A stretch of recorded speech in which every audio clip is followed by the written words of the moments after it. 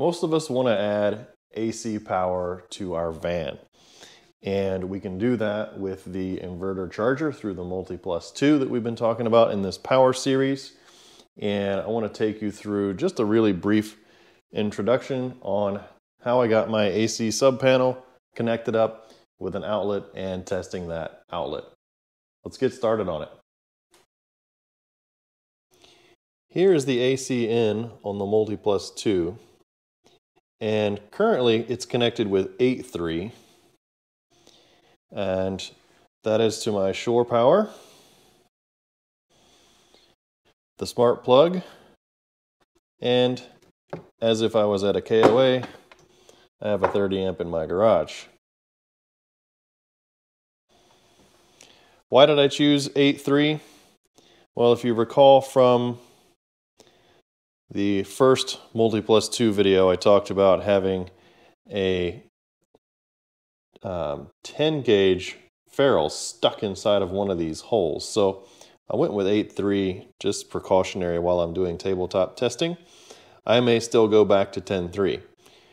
Now over here is 10.3. And it's working, it's fine, no issues. Uh, and again, this is not Romex 10.3.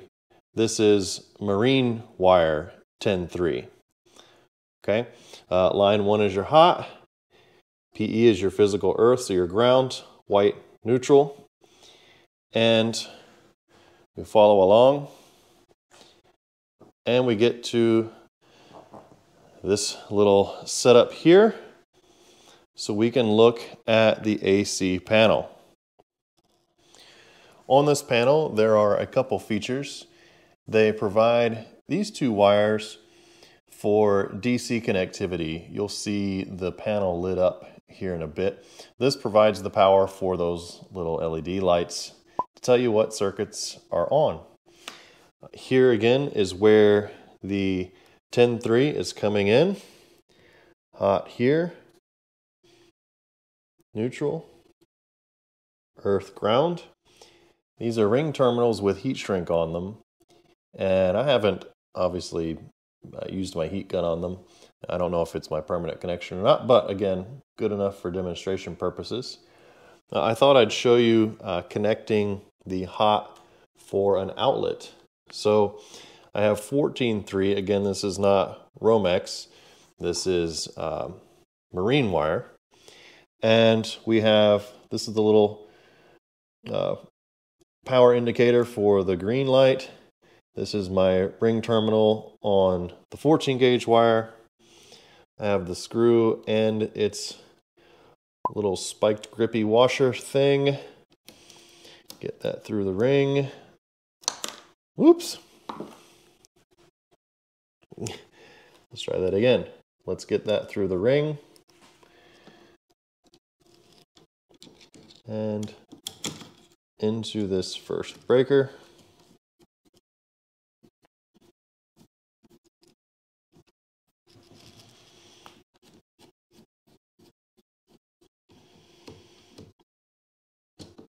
There we go. That's snug. Now that we have this hot connected, note I already had them connected. The neutral is on the neutral bus bar. The ground is on the ground bar. And again, those are set up with ring terminals. Let's move around to the front and look at the actual outlet.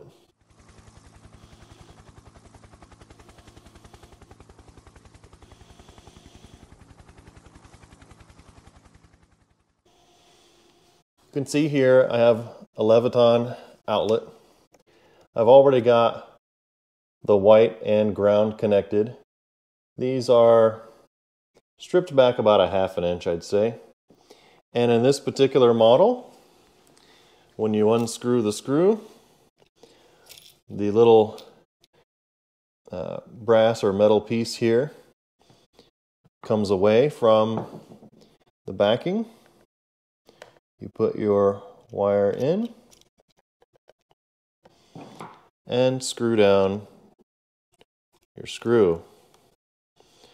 Now note this is actually a square driver, number one I think. It's a square driver versus a Phillips or a flathead.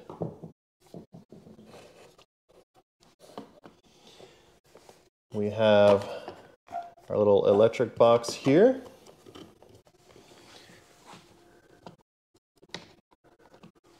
And we can line up our screws.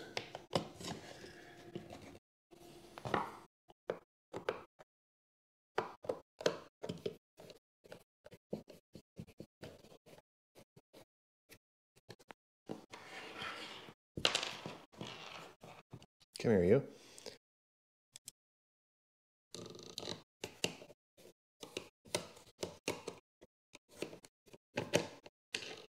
That was my aim. Pretty terrible, I guess. There we go.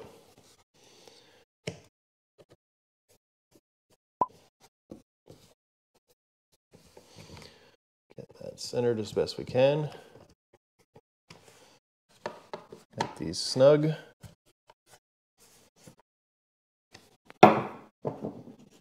We have the face cover. And here is flathead, of course.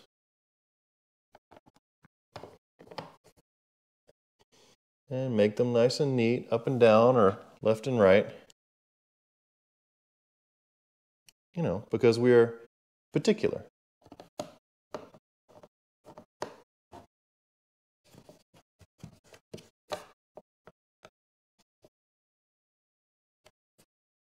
There we are.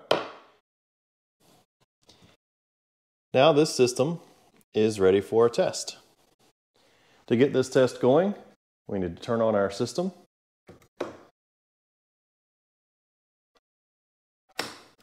Smart BMS coming up. Lynx distributors. Multi plus 2 just clicked on. And there's no shore power yet, so I'm going to plug that in. I don't have to to approve this test, but let's do it.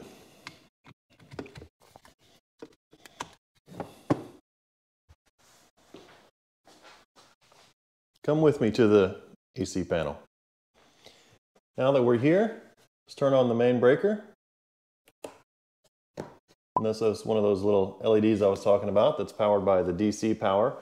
Uh, that is on a 2 amp fuse, by the way, and uh, the instructions say that can be a 1 to 2 amp fuse. The circuit that we connected to this switch is here, so now it is on and you can see the little light came on here. This is a GFCI switch. Okay, we can test it. There you go, see no power, reset. And we're back in business. And so you can see this thing working.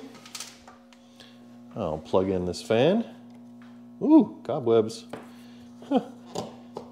Plug in this fan. Let's go for a little ride here. And turn the fan on. And there we are.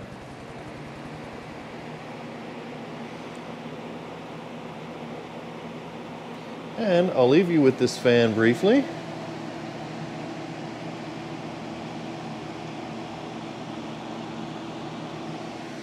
And we'll unplug shore power.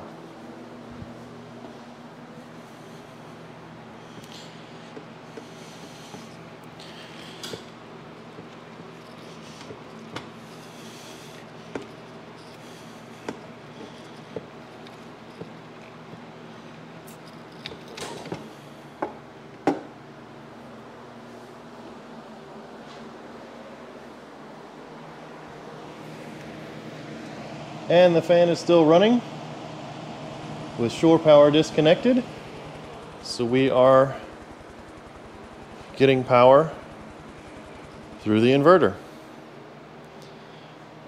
There it is inverting. And